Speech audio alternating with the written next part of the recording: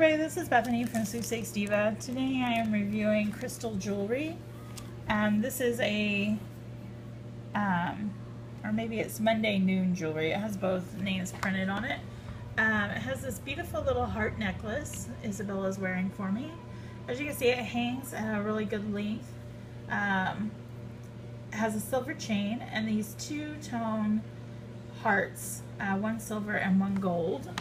It has gems on the outside of it that are really sparkly. It does move freely on this neckband, or chain, sorry, but it has all these cute little gems all the way around it. So it's really, really sparkly. It's a nice little necklace, really, really cute. Uh, it goes with just about anything because it's just silver and gold. Um, and it's a cute little necklace.